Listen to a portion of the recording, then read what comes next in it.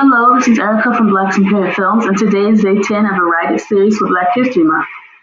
Today is February 10, 2017, and on June 10, 1854, Nate Love, aka Deadwood Dick, was born. Born into slavery to two loving parents, Nate Love went on to become one of the most famous African American cowboys of the Wild Wild West. Writing historical fiction about Nate Love or a character like him will be very easy because he published an autobiography in his autobiography, titled The Life and Adventures of Nate Love, better known in the, in the cattle country as Deadwood Dick by himself, he retells his entire life. He talks about his days as a child in slavery, his life on the great cattle ranges, and on the plains of the old Wild West. His mother was the cook, and his father the slave foreman at the plantation where he grew up. When he got old enough, he went out west his time as a cowboy is recounted in detail in his, in auto, his autobiography. And so, because of that, there's a lot of information and a lot of different stories that you could make into one big story or to into one little smaller story.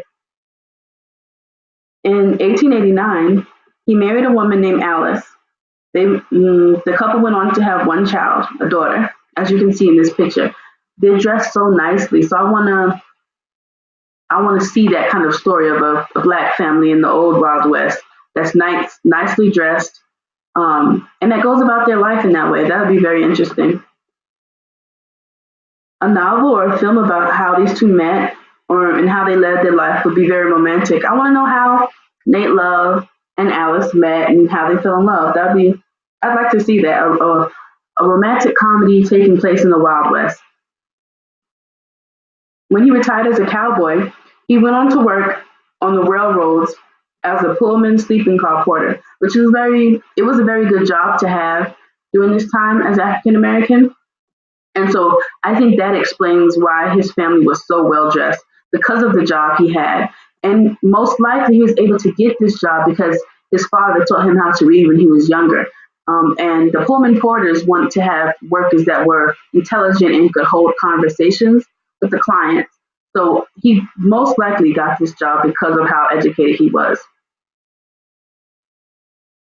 Um, his autobiography is wonderful for historical research because he talks about other people that he met during his journeys. So no matter how you go about telling a story, you can take different characters from this, from his autobiography, and you could heighten them um, and write a historical fiction about this character, centering the story around them and just have Nate be in the background, or you can make him the main character. However, um, this topic is covered, however, Nate Love's story is told, someone should write it.